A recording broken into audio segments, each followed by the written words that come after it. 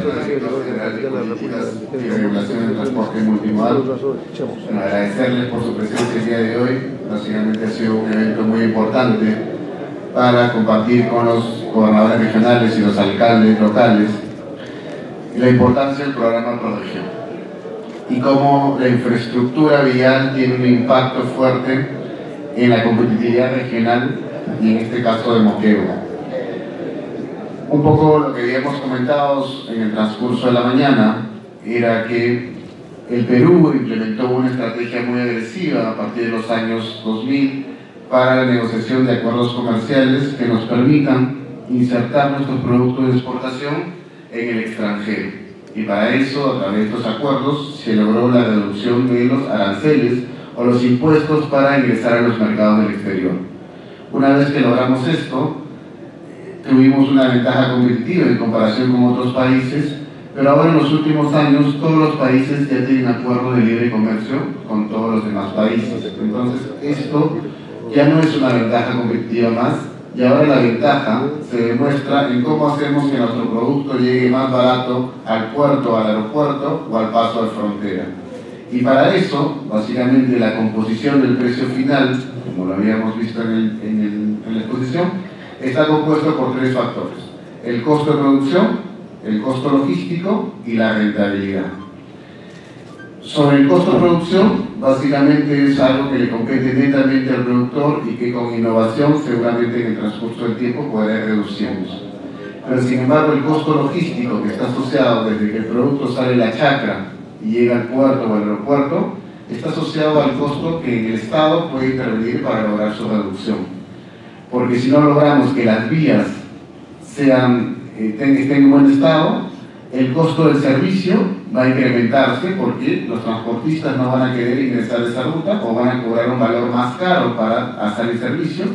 Y adicionalmente, si la, si la vía está en mala calidad, lo que va a ocasionar es que se generen mermas. Quiere decir que si exportamos una papaya, llegue jugo de papaya luego al transcurso del viaje por la mala calidad de la vía. Entonces el Estado ha hecho un trabajo muy importante para pavimentar la red nacional, en modernizar los puertos, en modernizar los aeropuertos, pero si no logramos que la chacra se conecte con estos corredores nacionales, todo ese trabajo no se podrá aprovechar al máximo. Entonces el trabajo de proyección es muy importante porque se concentra sobre todo en generar que los productores puedan llegar a estos corredores nacionales y de ahí su producto vaya con facilidad hacia el mercado del exterior. Entonces ahora le doy la, palabra a Carlos para que pueda profundizar sobre el tema de región. Muchas gracias. Tomando las palabras que nos da Fernando, el país ya ve con mucha expectativa y tomando el plan de competitividad y desarrollo, ser ya nosotros competitivos. Y esto involucra básicamente que nuestras vías, tanto vecinales y departamentales, mejoren. Por eso, nosotros el día de hoy comunicamos y hemos venido a explicar a las alcaldes, autoridades en general, que ya hemos concluido el primer corredor vial alimentador, el cual ya se encuentra viable a la fecha ya tiene su código unificado y básicamente entre el viernes y el día lunes iniciamos su licitación. Estamos hablando básicamente del corredor vial alimentador 2 que corresponde a los distritos de Torata, Carumas, Cuchumbaya, San Cristóbal, Matalaque y Ubinas. Básicamente estamos hablando este, una inversión muy grande y se va a realizar a través de la conservación por niveles de servicio.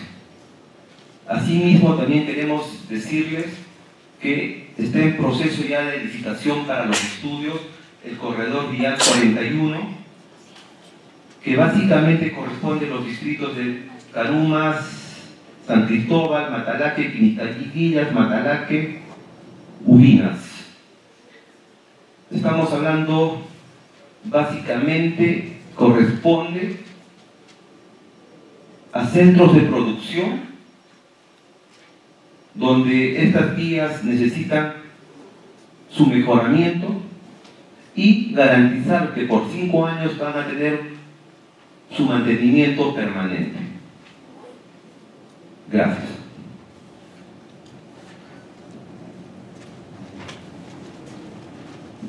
Muy bien. Nos acompaña en la mesa, reiteramos, el ingeniero Carlos Revilla, director ejecutivo de Teoría Descentralizado, también el ingeniero Fernando Serna, que es director general de Políticas y Regulación de Transportes Multimodal, el ingeniero Yuri Ramos, coordinador del programa ProRegión. Vamos a iniciar las pruebas de preguntas, si lo creen conveniente los señores y señoras periodistas. Indica por favor su nombre y el medio que pertenecen para poder dar la respuesta. Buenos días a todos los uh, presentes, a los funcionarios.